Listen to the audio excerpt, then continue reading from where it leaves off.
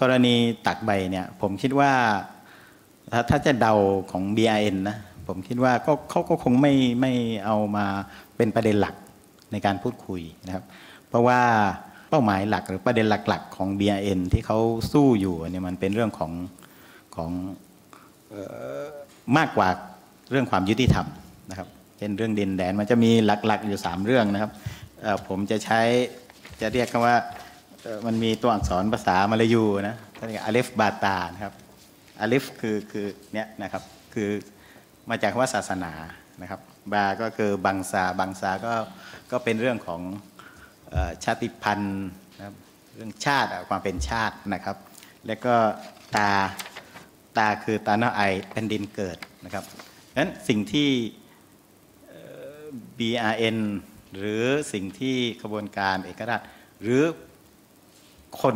ในพื้นที่นะครับเขาจะไม่ไม่ค่อยแยกกับสามเรื่องนี้นะครับ เพียงแต่ว่าในสามเรื่องนี้มันมันเป็นความขัดแย้งมันมีเงื่อนไขมากน้อยแค่ไหนนะครับ ในภาพเนี่ยผมจะเห็นว่าเรื่องศาสนานะอากามาอากามาก็คือศาสนา รัฐเนี่ยยอมรับมากที่สุดเลย เพราะฉะนั้นมันมีความขัดแย้งน้อยที่สุด อิสลามกับรัฐไทยไม่ได้มีปัญหาครับ แต่อาจจะมีปัญหาบ้างระหว่างคนกับคน นะครับ แต่ไม่ไม่ไม่ใช่ปัญหาหลัก ไม่ใช่ประเด็นหลัก ไม่ใช่เงื่อนไขหลัก บางซาเนี่ยมันจะรวมถึงชาติพันธุ์วัฒนธรรมอะไรพวกนี้ก็ก็มีการยอมรับระดับหนึ่งนะ เช่น ในโรงเรียนก็มีวิชาสอนภาษามลายูอะไรแบบนี้แต่ถ้าให้จะให้ยอมรับเป็นภาษาราชการระดับพื้นที่มันก็ไม่ถึงขนาดนั้น อันนี้เป็นตัวอย่างที่ที่มีการเรียกร้องมาแล้ว มันมันไม่ไม่ถึงขนาดนั้น แต่มันก็เป็นเงื่อนไขความขัดแย้งอยู่ในระดับหนึ่ง แต่ขณะเดียวกันมันก็เป็นต้นทุนที่สามารถที่จะนำไปสร้างสันติภาพได้ในระดับหนึ่งนะครับ อันที่สามก็คือตานาตานาไอซ์ตานาไอซ์แปลว่าแผ่นดินเกิดนะแผ่นดินเกิดแต่หมายถึงสามจังหวัดนะครับหรือปาตานีที่เขาเรียกนะครับ อันนี้เยอะที่สุดเพราะว่า รัฐยอมรับน้อยที่สุด เพราะฉะนั้นมันมีความขัดแย้งมากที่สุดนะครับ แล้วความยุติธรรมอยู่ตรงไหน อีกแผ่นหนึ่งความยุติธรรมอยู่ตรงนี้ครับ มันเป็นแกนหลักของทั้งหมดเลย มันเป็นแกนหลักของทั้งหมดเลยนะครับ เพราะฉะนั้นสำหรับผมมุมมองของผมก็คือว่าต่อให้จะมีแนวทางแก้ปัญหายังไง จะพูดคุยจะอะไรความยุติธรรมต้องยืนหนึ่งครับ ครับก็ขอสวัสดีทุกท่านนะครับ และก็ทุกท่านที่อยู่ทางบ้านที่ติดตามชมไลฟ์ด้วยนะครับ ผมตื่นเต้นนิดหน่อยครับ ไม่ค่อยได้ขึ้นเวที คือออจริง ๆ ตอนทำคดีเออตอนเกิดเหตุการณ์ตากใบ ผมก็ทำงานประชาไทยนะครับเป็น เพิ่งเพิ่งทำงานก็คือว่าประชาไทยก็เพิ่งก่อตั้งนะครับ แล้วก็เจอเรื่องตากใบก็ก็ได้ทำข่าวเรื่องตากใบเลยนะครับ ก็เป็นแต่ว่าจริง ๆ ผมไม่ได้ลงไปพื้นที่หรือไปอยู่ในเหตุการณ์นะครับแต่เคสแรกที่ผมสัมภาษณ์เรื่องตากใบก็คือ ผู้บาดเจ็บสาหัสที่ถูกส่งมารักษาตัวที่โรงพยาบาลสงขลานครินที่หัดใหญ่นะครับ เพราะตอนนั้นเนี่ยก็คือมีคนบาดเจ็บอยู่ประมาณ4ีหคนนะครับ หนึ่งในนั้นก็คือคุณมารีกีนะครับที่ที่พิการนะครับ อันนี้แต่ว่าคุณมารีกีเนี่ยผมไม่ไม่ได้สัมภาษณ์เพราะว่าตอนนั้นน่าจะคุยอะไรไม่ได้ แต่ว่าอีกอีกสามคนนี้ก็ก็คุยได้นะครับ ก็บทสัมภาษณ์ และก็เรื่องราวของพวกเขาก็ยังมีอยู่ในเว็บประชาไทยนะครับ ก็สามารถที่จะไปอ่านได้นะครับว่าคำแรกๆคำพูดแรก ๆ ความรู้สึกแรก ๆ ของเขาเนี่ยเป็นยังไงนะครับ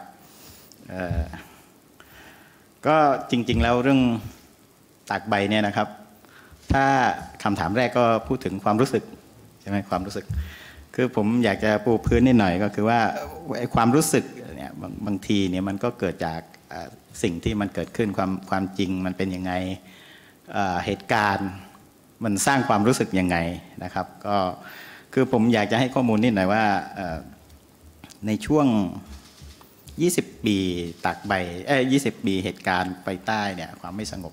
เป็นต้นมาเนี่ยนะครับในเรื่องที่เกี่ยวข้องกับคดีคดีความมั่นคงนะครับคดีความมั่นคงเนี่ยจะมีอยู่ประมาณ 1,300 หรือ 1,400 กว่าคดีนะครับที่ที่มีข้อมูลที่บันทึกไว้ในอของศาลอศาลอาญาภาคเก้านะครับ ในในจำนวนเนี้ยเท่าที่หาข้อมูลได้นะครับ มีเจ้าหน้าที่รัฐเนี่ยที่ตกเป็นจำเลยนะครับ รวมรวมถึงคดีตากใบด้วยนะครับ ที่ล่าสุดเนี่ยก็น่าจะไม่ไม่เกิน 30 คนนะครับน่าจะไม่เกิน 30 คนนะครับ ส่วนใหญ่ก็จะเป็นเจ้าหน้าที่ระดับล่างนะครับ แต่ที่น่าสนใจก็คือเออมีข้อมูลจากมูลที่ศูนย์ทนายความเนี่ยเขารวบรวมข้อร้องเรียนนะครับ ที่เกี่ยวข้องกับการปฏิบัติของเจ้าหน้าที่เนี่ยตลอดระยะเวลา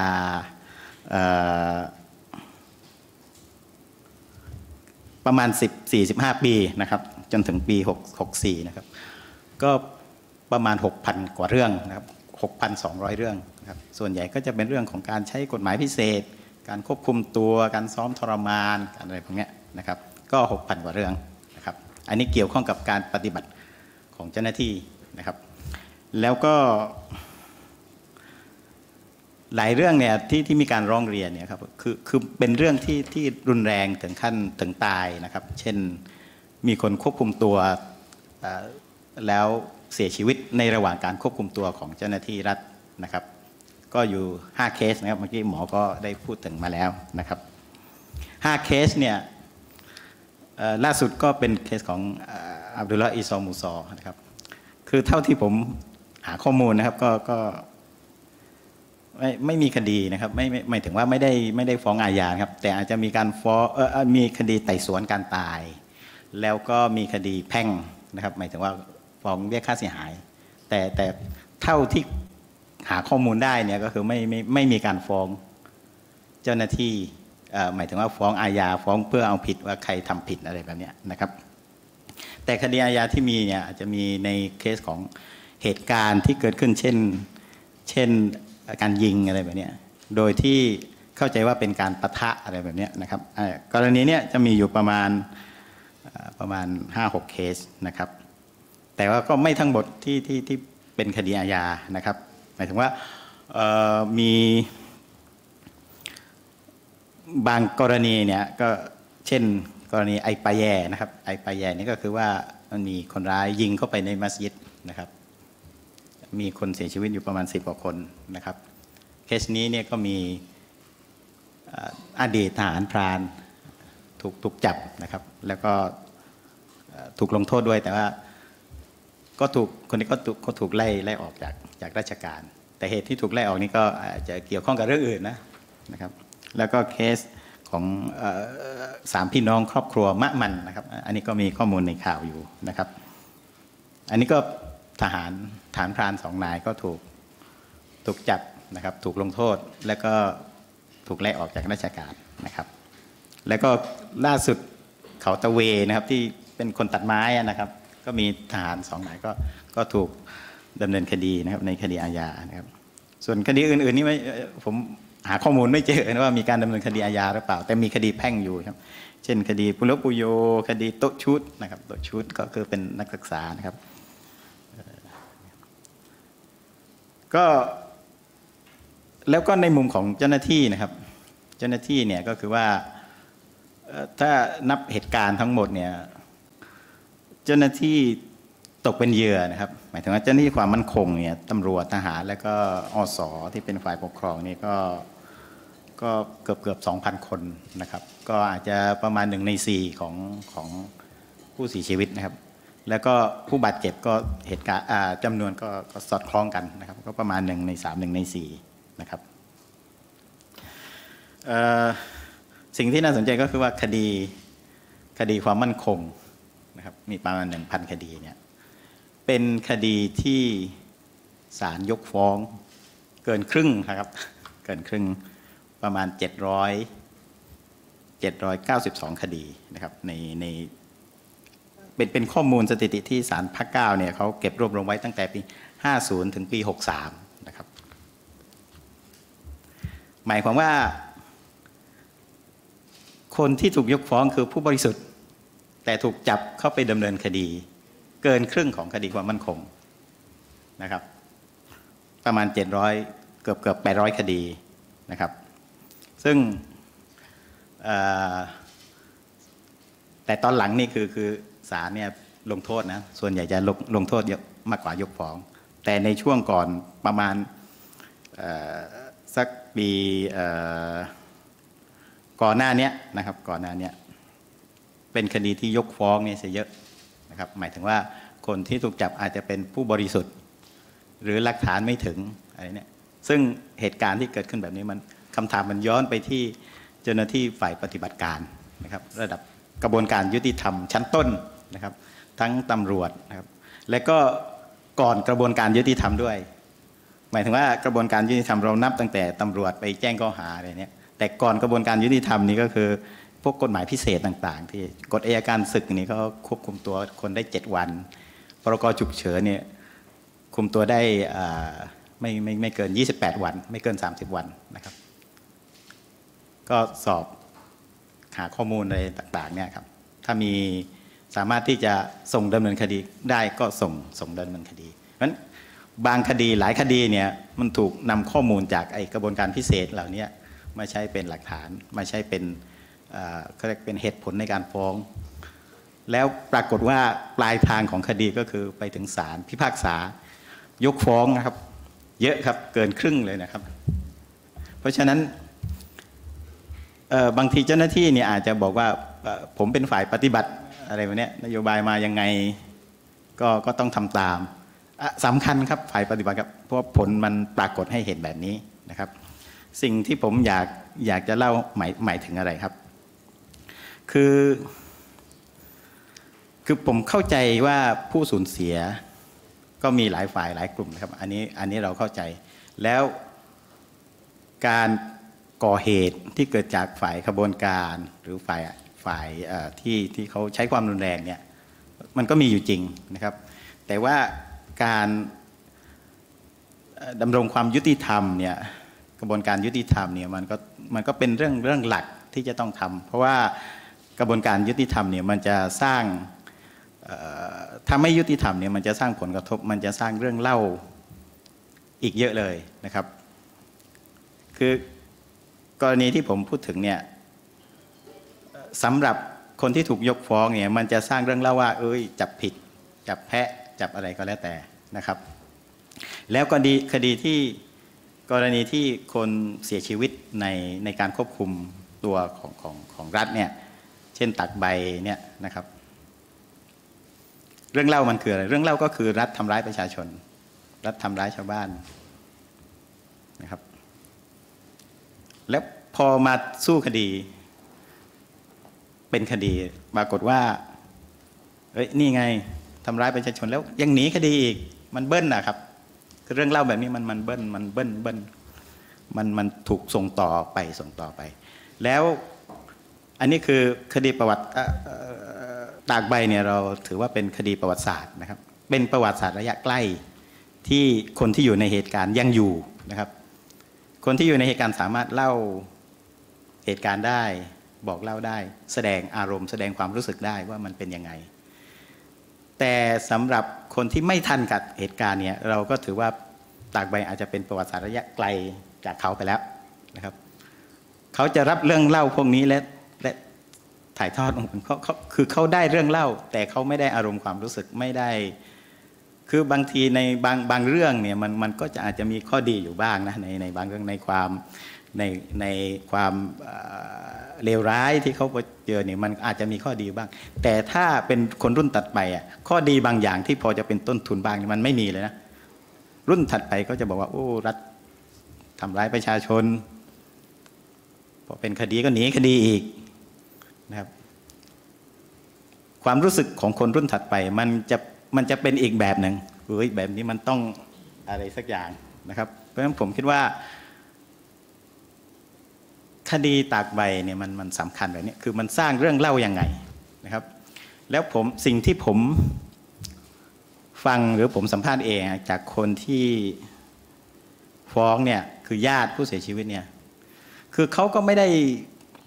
คือแทบจะไม่ไม่ได้พูดว่าเอาคนผิดมาลงโทษนะ แต่ให้เข้ามาในกระบวนการยุติธรรม มาพิสูจน์ความจริงมาอะไรเนี่ยโอเคสื่อทั่วไปเนี่ยอาจจะบอกว่า จับคนผิดมาลงโทษจับคนผิดมาลงโทษ แต่สำหรับญาติหรือคนในพื้นที่เองเท่าที่ประมวลได้เนี่ยคือเขาแค่เอาคนมาเข้ากระบวนการครับนี่คือสปิริตที่เขาต้องการนะครับ เพราะฉะนั้นตัวคดีตากใบนี่มันคือมันคือสปิริตครับสปิริตที่รัฐจะแสดงออกมาว่า โอเค ในเมื่อสิ่งที่ในอดีตอาจจะผิดพลาดอะไรก็แล้วแต่ แต่เมื่อเป็นคดีเพื่อเพื่อเพื่อเป็นพื้นที่หรือเป็นโอกาสในการพิสูจน์ความจริง โอกาสที่จะทำอะไรต่อหลังจากที่คดีมันตัดสินไปแล้วหรือสิ้นสุดไปแล้ว อาจจะลงโทษหรือไม่ลงโทษอะไรก็แล้วแต่ มันไปต่อได้อีกหลายอย่างนะครับ โดยเฉพาะสิ่งที่ทางสมชพูดมาที่ความรู้สึก มันนำไปสู่การจัดการความรู้สึกได้ยังไงผมคิดว่าเรื่องนี้สำคัญ เพราะฉะนั้นสมมุติว่า จำเลยทั้งหมดมาศาลเรื่องเล่าแบบเมื่อกี้ที่ผมว่ามันอาจจะไม่เกิด มันจะไปอีกทางหนึ่งเลยนะครับ มันจะไปอีกทางหนึ่งเลย คดีตากใบยี่สิบปี มันเกิดเป็นแบบนี้ อีกยี่สิบปีตัดไปเนี่ย มันจะมันจะเป็นยังไงนับจากวันหมดอายุความ อันนี้เราก็ยังไม่รู้ แต่มันต้องมีเรื่องเล่าอะไรบางอย่าง แล้วเรื่องเล่ามันสร้างปฏิบัติการอะไรบางอย่างขึ้นมา ได้ นะครับ ก็ก็ประมาณนี้ผมคิดว่าทางออกอื่นนะนึกไม่ออก แต่ว่ามันก็มีอยู่สองทาง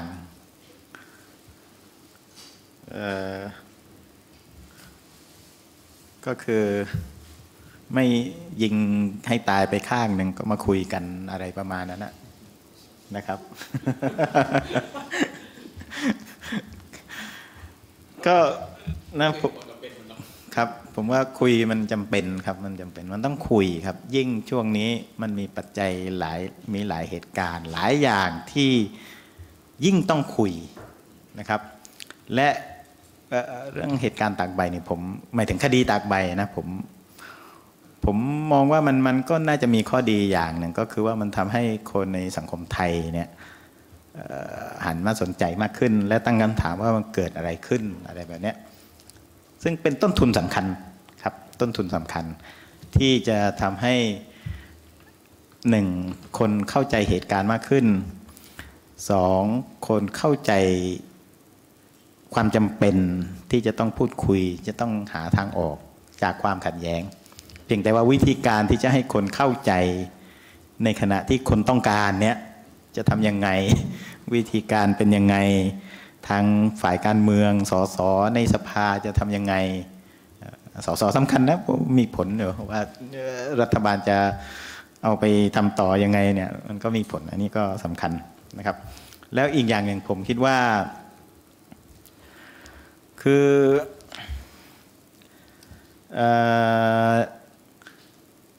พูดถึงโต๊ะพูดคุยเนี่ยมันมันมันหนึ่งมันเป็นกระบวนการที่ต่อเนื่องอยู่แล้วนะครับสองก็คือว่ารัฐบาลก็ไม่ได้เสนอทางออกอื่นนะที่มันแบบนั่นจริง ๆ เหมือนนายกเศรษฐาเนี่ยบอกว่าจะทำเรื่องเศรษฐกิจเรื่องอะไรพวกนี้การท่องเที่ยวก็ก็ยังไม่เห็นนะว่าว่าเป็นยังไงก็ก็มีผลนะเรื่องนี้มีผลอยู่มันมันมีผลมันเชื่อมโยงกัน แต่การพูดคุยเนี่ยมัน มันผมคิดว่าสถานะของการพูดคุยมันคือการจัดการความรู้สึกจัดการอดีต จัดการสิ่งที่มันค้างคาใจนะครับว่าสถานะมันควรจะเป็นอย่างนั้นนะครับ แต่ว่ามันย้อนแย้งอะที่ผ่านมามันย้อนแย้งนะครับ เช่นเราเคยได้ยินว่า เออที่ผ่านมาเนี่ยคุณต้องหยุดยิงก่อนแล้วมาคุยแต่บีไอเอ็นบอกว่าไม่ได้ มันต้องคุยก่อนแล้วค่อยหยุด อะไรแบบนี้มันก็ย้อนแย้งกันแล้วเหมือนกรณีไอ้นี่เหมือนกันเขาเรียกอะไรอะเรื่องจำไม่ได้แล้วคือคือมันมันจำเป็นอะมันจำเป็นต้องต้องต้องคุยต้องต้องหาทางพูดคุยให้ได้นะครับ แล้วก็ถ้าพูดถึงอีกอันหนึ่ง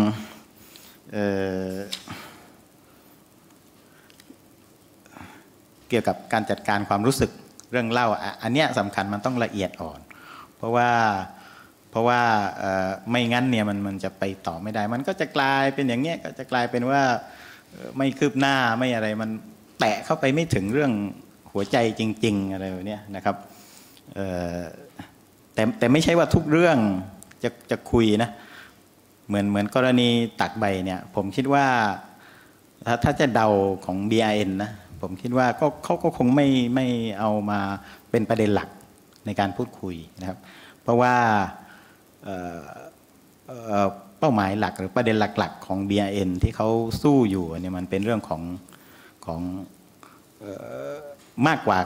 เรื่องความยุติธรรมนะครับเช่นเรื่องดินแดนมันจะมีหลัก ๆ อยู่ 3 เรื่องนะครับผมจะใช้จะเรียกกันว่า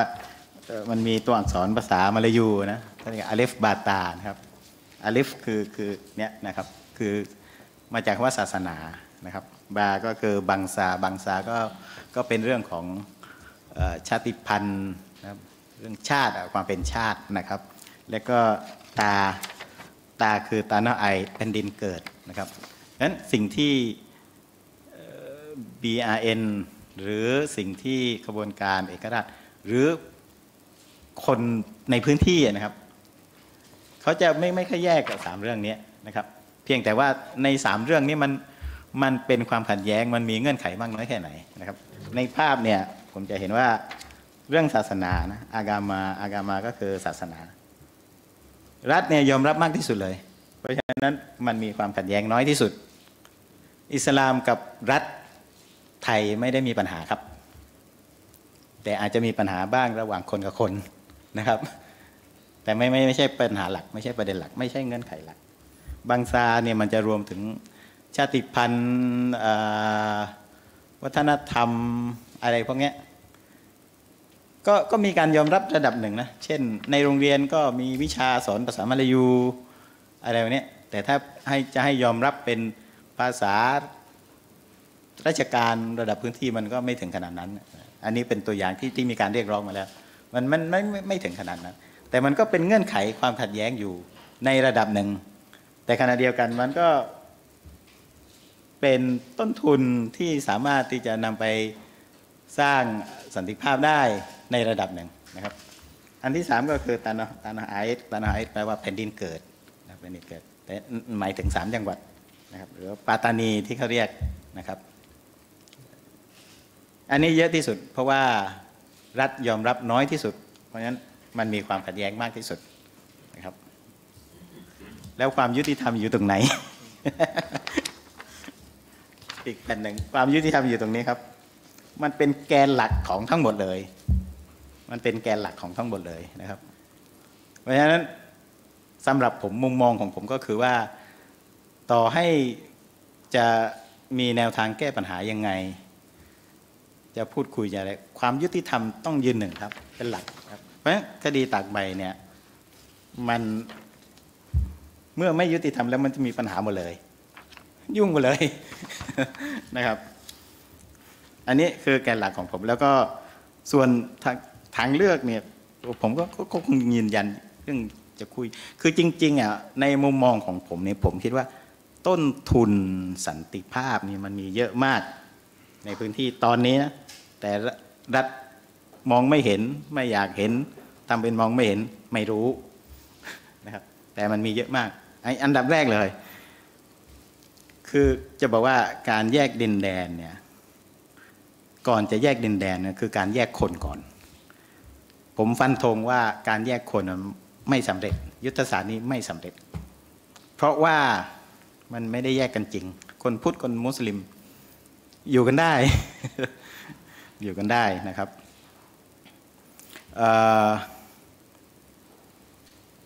แต่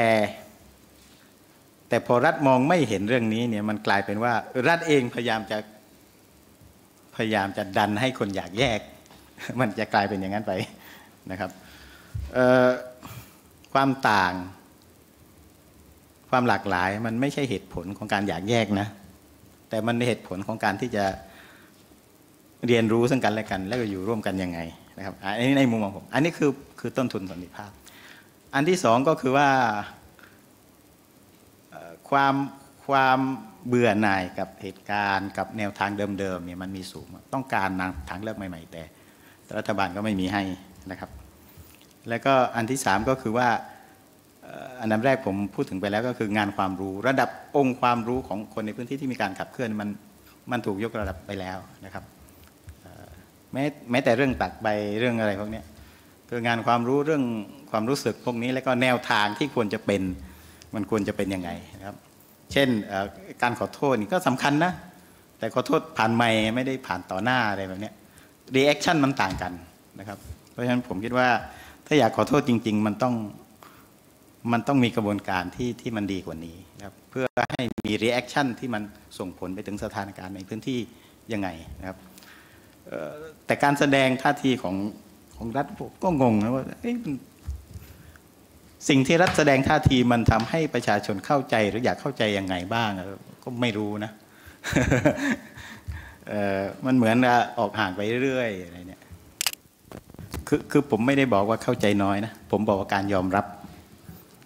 อาจจะยอมรับในรูปแบบไหนก็แล้วแต่ แต่ว่าบางทีการที่จะยอมรับได้มันก็ต้องมันต้องมีความเข้าใจก่อนอะไรแบบนี้นะครับ ซึ่งบนโต๊ะนี้ผมก็ไม่แน่ใจว่าได้คุยกันเรื่องนี้หรือเปล่า แต่ว่ามันก็เป็นประเด็นสำคัญ เพราะว่าเข้าใจว่ากระบวนการสิบปีที่ผ่านมาเนี่ยของของกระบวนการพูดคุยมันเป็นเรื่องของการสร้างความไว้วางใจ ระหว่างคู่พูดคุยกับคู่พูดคุย ยังไม่เห็นการสร้างความไว้วางใจระหว่างคู่พูดคุยกับประชาชนนะผมผมยังไม่เห็นมันยังไม่เห็นตรงนั้นนะครับ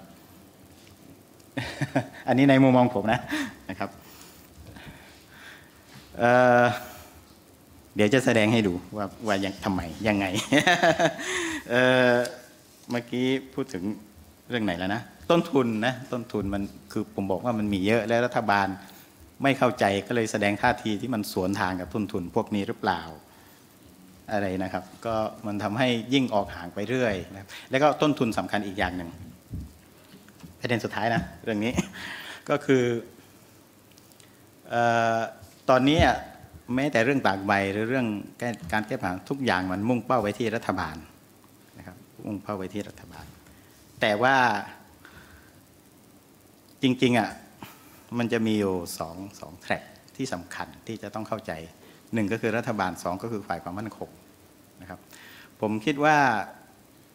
ฝ่ายความมั่นคงฝ่ายทหารเอง อาจารย์ท่านหนึ่งบอกว่ากองทัพภาคที่สี่เป็นกองทัพที่อ่อนแอที่สุด ในมุมมองของท่านก็ก็ก็ก็ก็ท่านมองแบบนั้น แต่ในส่วนตัวผมผมมองว่ากองทัพภาคสี่เนี่ยเป็นกองทัพที่เข้าใจเรื่องแบบนี้ดีที่สุด โดยเฉพาะปัจจุบันเนี่ยนายทหารที่ผ่านเรื่องพวกนี้มันกำลังขึ้นอยู่แม่ทัพเองอะไรเอง เขาก็เรียนรู้เรื่อง peace process เรื่องกระบวนการสันติภาพ ร่วมกับภาคประชาชนนี่แหละภาคประชาสังคมนะครับเพราะเพราะฉะนั้นผมคิดว่าอันนี้คือต้นทุนที่สำคัญที่เขาเข้าใจ แต่ว่าออกองทัพเนี่ยคือคือเราก็เข้าใจว่าเขาก็มีกรอบมีครอบมีอะไรบางอย่างที่ที่เขาก็ไม่สามารถที่จะแสดงท่าทีอะไรได้นะครับ ก็คิดว่าอันนี้อันนี้คือต้นทุนที่สำคัญ คือเขาจะเข้าใจเรื่องพวกนี้ดีนะครับ ถ้าได้ปฏิวัติไม่ถึงความคิดนะไม่ใช่ปฏิวัติยึดอำนาจนะ อันเนี้ย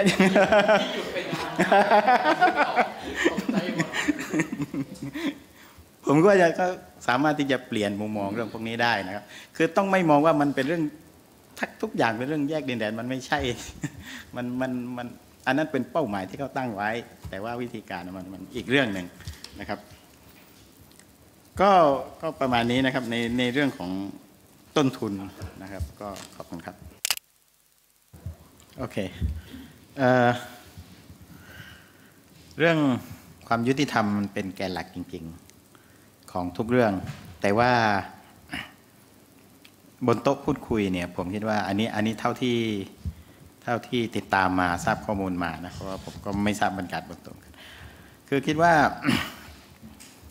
เรื่องความยุติธรรมน่าจะไม่ใช่ประเด็นหลักของการพูดคุยบนโต๊ะนะครับเอ่อ แต่เป็นเรื่องของอย่างที่ผมบอกคือเรื่องของอาจจะเป็นรูปแบบการปกครองหรืออะไรก็แล้วแต่ แต่ก็ยังไม่สำคัญเท่าการจัดการความรู้สึกในอดีตมันผมนึกออกแล้วเมื่อกี้มันมันมีเรื่องย้อนแย้งหนึ่งก็คือว่า B BIN เนี่ยเขาเขาจะบอกว่า ก่อนจะคุยเรื่องอนาคตมาเคลียร์เรื่องอดีตก่อน อะไรแบบนี้ประประมาณนั้นนะประมาณนั้น อันนี้ฟังเขาเล่ามานะครับแต่ว่าฝ่ายไทยเนี่ยอาจจะบอกว่าเอ้ยไม่ต้องคุยเรื่องอดีตมาคุยอนาคตเลย จะเอายังไง มันก็ย้อนแย้งแบบนี้แหละนะครับ ประมาณนั้นแต่จริงๆอะมันคือการจัดการความรู้สึกครับ เพราะว่าเราต้องการที่จะหยุดวงจรเรื่องเล่า ที่นำไปสู่การใช้ความรุนแรง เพราะฉะนั้นมันต้องคุยไม่ให้ขาดใจ ไม่ให้สิ่งที่มันเกิดขึ้นในอดีตมาขาดใจว่า โอเค มันเกิดขึ้นมาแล้ว เป็นยังไง ในมุมมองในของแต่ละฝ่ายเป็นยังไง มันอาจจะเหมือนกันหรือต่างกันก็ได้ไม่เป็นไร แต่ว่าให้คุยกันแล้วก็ยอมรับกันว่าเออคุณยึดแบบนั้นเรายึดแบบนี้แล้วเรามาอออยู่ร่วมกันไปข้างหน้ายังไง ให้เป็นบทเรียนของแต่ละฝ่ายอะไรก็ได้แล้วแต่คือประเด็นสำคัญคือมันต้องคุยมันต้องคุยมันต้องเคลียร์กัน ว่าเราเปลี่ยนแปลงอดีตไม่ได้นะครับอันนี้มันเป็นเรื่องของการจัดการความรู้สึกที่ไม่ไม่ให้ถูกส่งต่อออกไปนะครับ เพราะไม่งั้นเนี่ยเหมือนกรณีตากใบเหมือนวันนี้เหตุการณ์ในวันนี้จำเลยไม่มาคดีหมดอายุความเนี่ยมันจะกลายเป็นเรื่องเล่า ที่มันจะดึงเรื่องไกลเข้ามาด้วย โอ้เรื่องตากใบจำเลยไม่มา ทำร้ายประชาชนแล้ววันนี้คดีมันก็เหมือนกับเรื่องฮาจิสุหลงนั่นแหละ มันจะดึงเรื่องไกลเข้ามา ไกลเข้ามาเรื่องไกลเข้ามาอีกนะครับ มันจะเป็นแบบนั้น มันจะไม่ได้ดึงมาเพื่อเป็นบทเรียน แต่มันดึงมาเพื่อเพื่อเราอารมณ์อะเพื่อเราอารมณ์เพื่ออะไรก็แล้วแต่ใช่ไหมยิ่งยิ่งเอ่อเขาเรียกอะไรอะเอ่อ ความพยายามในการแก้ปัญหาของของของคนหลาย ๆ รุ่นในพื้นที่ที่พยายามใช้แนวทางทางการเมือง ใช้รัฐสภาและสุดท้ายก็ก็ถูกถูกถูกตีตาว่าเป็นกบฏอะไรแบบเนี้ยมันก็มันก็จะถูกดึงเข้ามาด้วยอะไรแบบเนี้ยนะครับเพราะฉะนั้นผมคิดว่าที่สุดของประเด็นเนี่ยของความขัดแย้งเนี่ยก็คือเออเรื่องความยุติธรรมกับ กับแนวทางทางการเมืองนะครับคือถ้าไม่มีสองอย่างนี้เนี่ยก็ไม่มีทาง ไม่มีทางที่จะแก้ปัญหาได้นะครับ หรืออาจจะแก้ปัญหาได้ชั่วครั้งชั่วคราวนะครับ แล้วปัญหาใหม่มันก็เกิดขึ้นมาใหม่พร้อมกับคนรุ่นใหม่อีกต่อต่อไปอะไรแบบนี้นะครับก็ประมาณนี้นะครับ